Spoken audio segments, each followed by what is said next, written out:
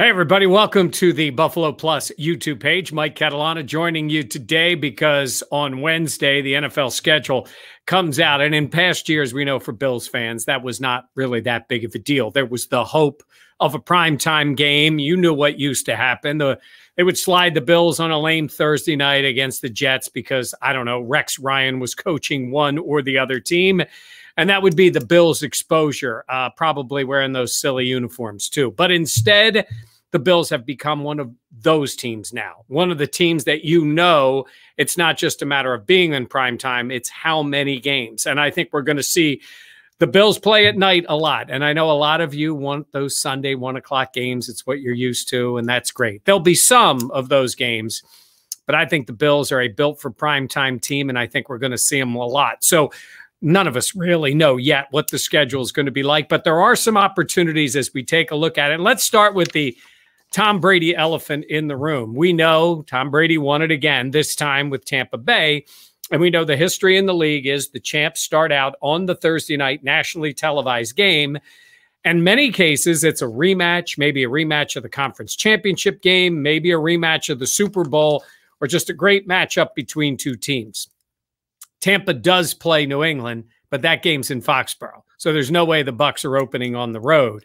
Tampa has division games that are good, but you know, Drew Brees ain't playing anymore. So when you start looking, that matchup between the Bills and the Bucs, Josh Allen against Tom Brady in Tampa, that's the way it's set up for this year. I think would be a phenomenal choice for the opening game of the season. Will it happen? I don't know. I think there's a thought around the NFL that you've already got that first game. You're going to get a big audience. Do you go another route? Is Tom Brady and the Buccaneers enough to bring in that big audience? But the NFL likes to sell and they like it to be big, and they're going to be promoting that game for weeks leading up to it. There's the opportunity to play the Cowboys, even the Giants, but the Giants don't have the marquee players. I mean, Dallas has Dak Prescott coming back, and it's Dallas against Tom Brady. Unfortunately, we know that's a ratings winner one way or the other. And I know a lot of you don't want to see the Bills play in that game. They don't want the Bills on the opening night game as the road team when they Tom Brady raises another banner. I kind of think it would be great. It's a non-conference game. In the big picture, it's not as important as the AFC games, certainly AFC East games. I think there's a chance. I think it's probably going to go elsewhere. I'd love to see it. I'd love to see the Bills go into Tampa and knock off Brady with the history of the franchise against Tom Brady in that first game. But I guess we'll have to wait and see. But as you look through the rest of the Bills' schedule, and again, this will be announced Wednesday night, eight o'clock, though I'm sure there'll be some leaks. You go through it. And the biggest thing I think that I take away is that all of a sudden the AFC East has some marketable teams now. Uh, you know, New England was still a primetime team last year. I'm not exactly sure why, because everybody knew Brady was gone and they weren't very good. I don't know how good they're going to be this year. I guess we'll wait to see if Mac Jones takes over.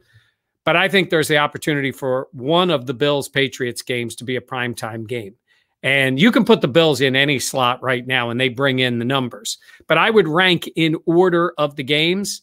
I think Sunday night is still the biggest game though the Thursday night games have really crept up and it's getting close.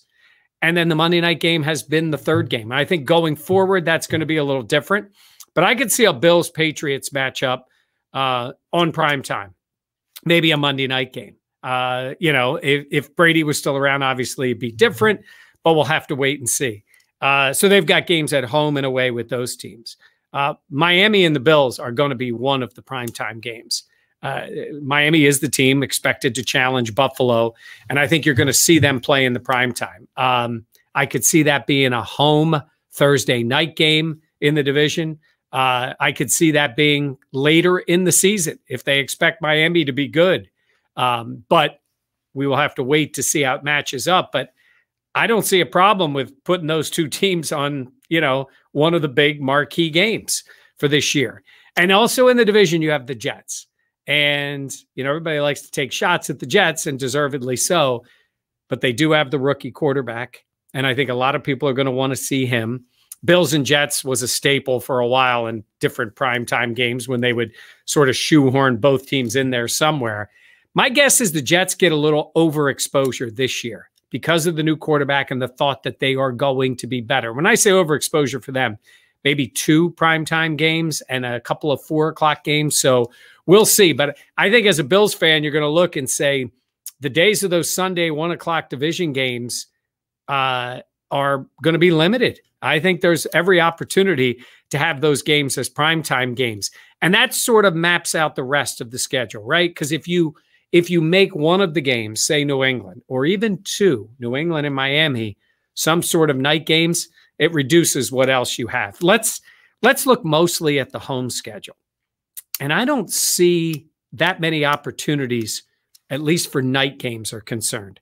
Atlanta, no buzz. Bills in Atlanta. Uh, they've got good players. You know, they got Matt Ryan, they got Julio Jones if he's still around. I don't see any buzz. I don't see that being a night game. You know, Atlanta's going to end up playing, you know, New Orleans or Tampa, one of those division games. Carolina, we can sell uh, Beane and McDermott and the old Panthers all we want. Doesn't work nationally. I don't see that as being the type of game that draws a national TV audience. No chance of the Houston Texans, right?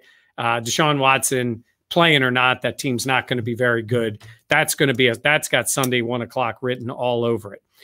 The Colts is a playoff rematch. The Carson Wentz things makes them makes them different um, but don't we just feel like the Colts always seem to play Jacksonville and Tennessee on a Thursday night game? That seems to be a given.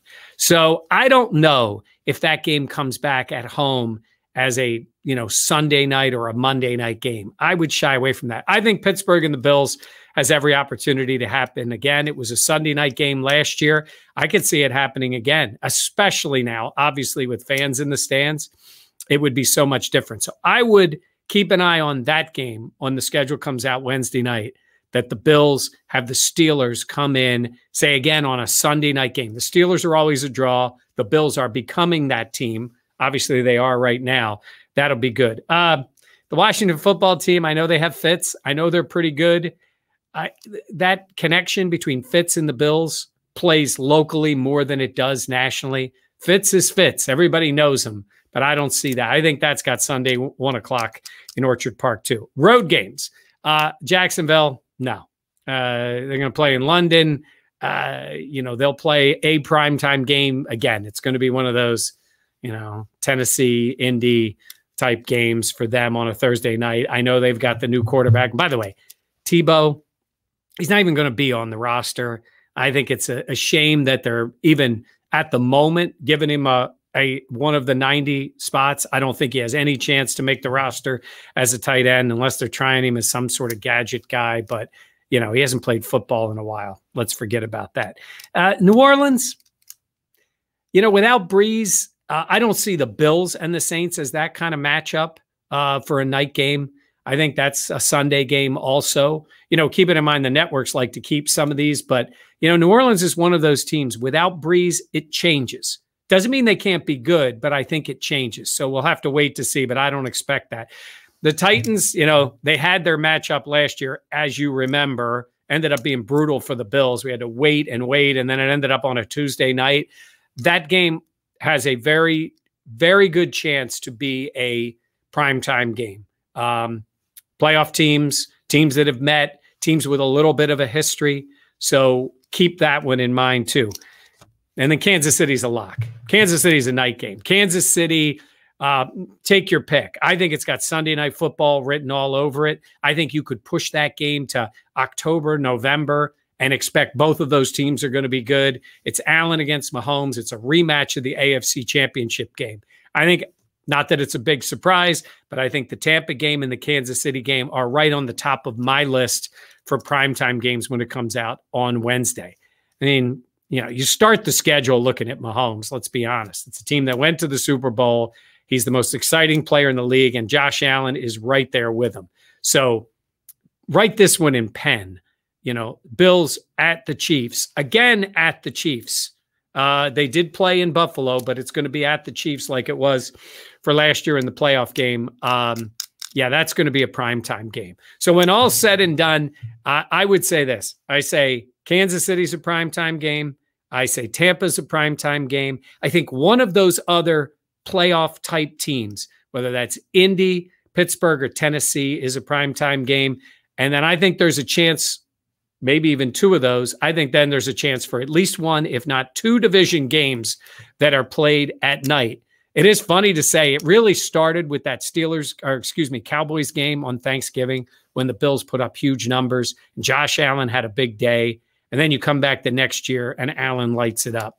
The networks love them. They love the Bills. Stefon Diggs, a winning program.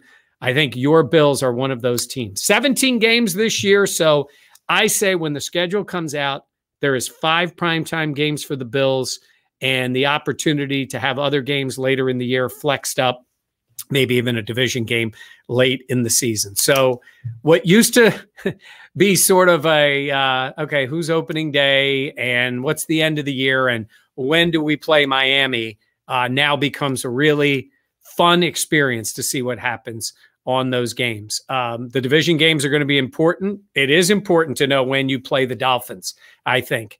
And maybe even that case for the Patriots this year. They always seem to play them right around Christmas for whatever the reason is and blew them out last year. So we'll see how that matches up this year. But I think it's going to be a lot of fun. I think Bills fans are going to enjoy it. And when we talk about that road trip or those road trips, in addition to the Miami game, uh, you know, and fans made the trip down to New York certainly to see them play against the Jets.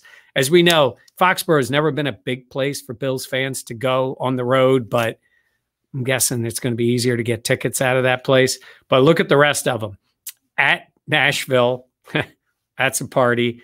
At Tampa Bay, at New Orleans, at the warm weather in Jacksonville. Save up your frequent flyer miles get on the road to see your team this year because you're going to be able to buy tickets. So that's going to do it for this version of the schedule where I'm trying to predict what you may see on Wednesday night. When the schedule is out, Dan and Jenna will join me. We will break down the entire schedule, how it looks to us, what are the key moments of the entire season. Did the Bills get the right amount of respect they deserve as a team that was in the AFC championship game and could very well go to the Super Bowl this year. So get excited for the Wednesday night schedule release. They say eight o'clock. Some things may leak out.